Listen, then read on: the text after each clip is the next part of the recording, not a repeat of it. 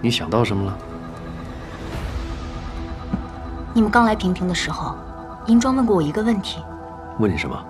银庄问我，银家许诺给魏生燕什么，才让魏生燕大费周章的把袁毅骗到燕宫？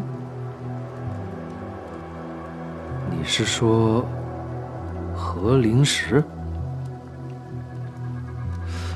原来是这样，阻止银庄没用。他是银庄，他永远会选择牺牲自己，成全别人。不管是我还是银霄，都阻止不了他。所以，我要阻止的是魏生燕。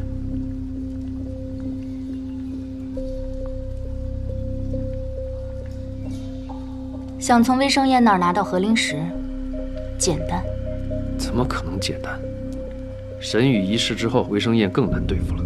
因为他现在别无所求，除了银装，这是他唯一的弱点。但你舍得下手吗？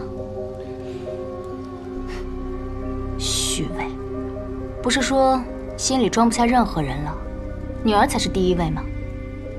你以为用银装去逼迫魏生燕，她就会交出何灵石吗？魏生燕没那么好骗。我说的不是骗，下不了手，我帮你。怎么，真以为我杀不了银庄啊？她再强，也只是一个学诗词歌赋的贵族小姐。我要真想杀她，一招也过不了我。这事儿与他无关。魏生燕杀了我爷爷，这笔账不要算在银庄头上。魏生燕杀了我的至亲，我杀了银庄，既能向魏生燕报仇，也可以逼魏生燕拿出和灵石，这是一举两得的好事。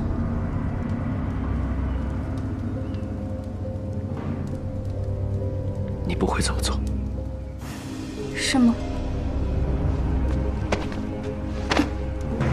我不会让你这么做。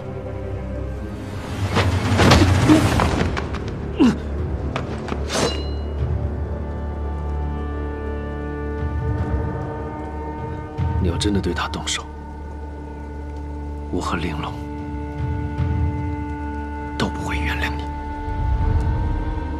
你怎么想的，与我无关。我杀不杀他？也与你无关。从前竹溪和魏生燕就左右不了我，